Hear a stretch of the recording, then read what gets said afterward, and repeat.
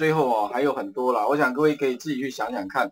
那刚刚的画面也把它传上去，主要就是在呃几个画面有变更的哈，应该有三个画面才对。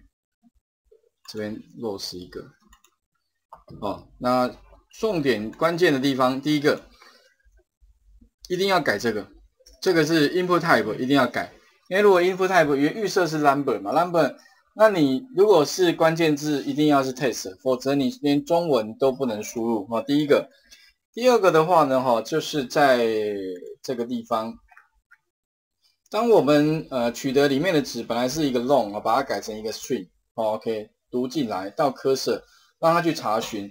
那第三个是那个 keyword 那个 keyword 部分的话哈，重整一下，应该有三个画面。那 keyword 这个其实这个就是也是一个关键，记得是 like 有没有？这边改 like 本来是等于哈，然后百分比。那主主字串的方法就这样。好啊，如果说你有多个条件查询，你就是再自己再去下一个 and or 等等的，就是两个条件的查询。那我建议，如果你还没有把握之前哈，一定可以在那个，就是我刚刚给各位这个上面去下条件。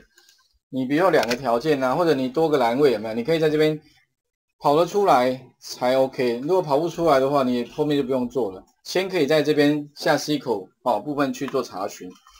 那这个是刚刚讲的那个成语的那个变化哦，啊是实际上 run 起来也 OK。在手机上面哦，发现哎跑起来其实速度。只有开启的速度很慢，之后查询的速度飞飞快，一下就结果就查出来哈。那等一下的话，我们会有一个 assess 的一个范例练习，所以在这边哈，那 assess 的范例练习这样，我的需求很简单，我们有一个档案，假设在这里，就是呃在 assess 哈，所以等一下请各位建一个叫 assess 的 ex 的范例，这一个。好，那这个范例里面的话，我们就是预设在这里面放一个档案，是一个 test file。那你可以放一个什么，比如说成语哈，丢进去也没关系啊，只是太大了要等很多，就要等等一段时间。那打开来的话，实际上，呃，它是一个 Unicode 档啊。不过特别注意哦，请各位注意一下哈，你如果是在那个文字档的时候，有没有？如果你今天是从文字档里面，记得你另存新档的时候，要务必要检查一下。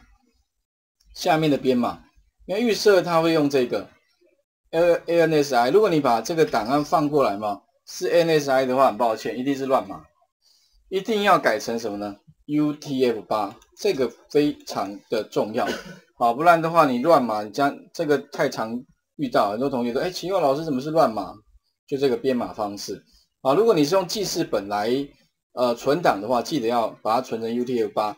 啊啊，我这边是简单放了一个档案进来啊，你就自己找一下哦。我抓一个东西，OK。那我们如果今天希望怎么样？非常简单，在界面上面哦，打开来其实就一个，里面一个什么？一个记得是一个 test view 啊。那这个 test view 是什么呢？当我开启的时候，我就直接把资料载到 test view 里面就好了。所以执行起来给各位看，应该很快哈。那就会把这个 test file。载到这个里面啊，载到这里面。那载的方式的话呢，其实也非常简单。不过这里会用到 Java 的 I/O 元 I/O 的那个类别啊，里面的话就是把资料读到这个我们的 Test View 里面。啊，这边执行一下，OK，好，那就把它丢过来，有没有？丢过来，就这样，就是把这个档。那可以开档的话。表示说，你们将来如果有外部资料，有没有可以开？那你也可以怎么跟 SQLite 结合在一起？那至于怎么结合啊，各位可以动动脑筋啊。反正就是切字串嘛，哈，切字串。所以你这个呃那个 string 类别有没有？string 类别里面有很多啊，你要怎么去切字串？找到关键字去切，一个一个切出来，再放到它应该放的栏位里面去。OK，好，这里的话，我想各位先试试看啊。那这个范例先等一下先。